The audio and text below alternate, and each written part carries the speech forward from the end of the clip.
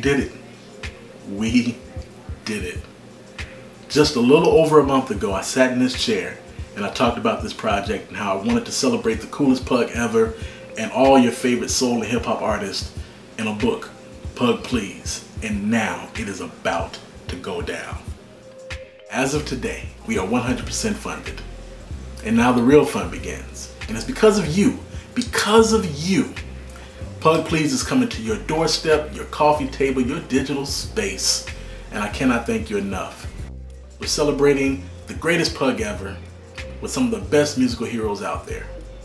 And it couldn't have happened on a better day because today is the first year anniversary of the A Pug Named Fender webcomic. So thank you, thank you, thank you. Stay tuned.